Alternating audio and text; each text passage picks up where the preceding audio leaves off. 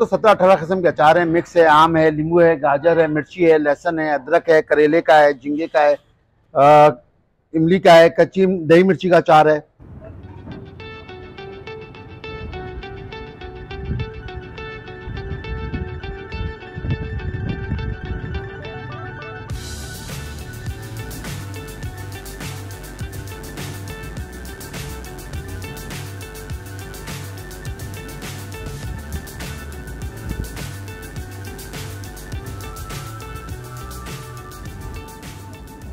जो है, बहुत सारे अचार हैं जिसमें ये डबल का मीठा हैदराबादी। ये कैरी मिर्ची की चटनी है, ये मिक्स अचार है, आम का, आम नींबू मिर्ची, गाजर का, ये आम की खट्टी मीठी नॉर्दर्न चटनी है,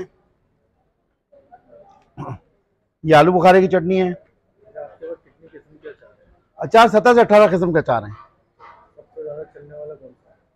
सबसे ज़्यादा चलने वाला ये है कि मिक्स है, रिश्ते का अचार है, लहसुन का अचार है, दही मिर्ची का, हरी मिर्ची का अचार है, हरे मसाले वाला। ये मिक्स अचार है। ये मिर्ची का अचार है। ये आम का अचार है।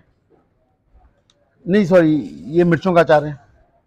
ये करेले का अचार है। हरे, ये लाल मसाले में मिर्ची का अचार है। ये आम के गुदे का अचार है, रिश्ते का अचार जो आपका ज़िक्र हो रहा है कि रिश्ता हो जाता है। और लहसुन का अचार ये लहसुन का अचार है। ये सिरके का आइटम है। ये सिरका नींबू है जैसे खाने में भरा हुआ है नींबू है। ये मिर्च गाजर है मिर्ची है लसोड़े का चार है। आ, ये ये लसोड़े का है झींगे का चार है। सारे अचार यहाँ मिलेंगे आपको। और सीज़न वाइज जो अचार बनेंगे आपको सीज़न के जो बनाने जैसे सौजने की फल्ली का है सेम की फल्ली का है गवार की फल्ली का ये ऑर्डर पे तैयार किए जाते हैं। आ, इसके अलावा भी मैंने क्या नाम है चिकन और गोश्त का झींगे का ये सीज़न में ऑर्डर पे भी तैयार किया था अभी मौसम गर्म है, इस वजह से तैयार नहीं कर रहे हैं गोश्त और चिकन का। फ़िश का अचार भी बनता है ऑर्डर बना के देते हैं। सारे अचार हमारे पास खुद बनते हैं। बाहर से कुछ भी नहीं।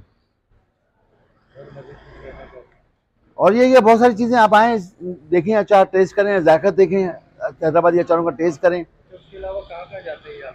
मुख्तलिफ़ जगहों पे, जैसे अभी मेरा कल के ऑर्डर हैं, इस्लामाबाद भेजने।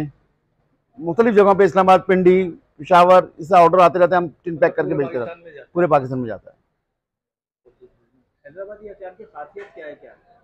अचार की खासियत है ये है कि इसमें कोई एक्स्ट्रा केमिकल्स नहीं है टाटरी नहीं है इस तरह की कोई जो नुकसानदेह गले के लिए वो चीज़ें नहीं है इसके अंदर। हमने सुना था यहाँ पे पूरे बघार जिस वक्त होता है सुबह के टाइम जब वो तो पूरे मोहल्ले में खुशबू होती है जब अचार का मसाला बघारा जाता है।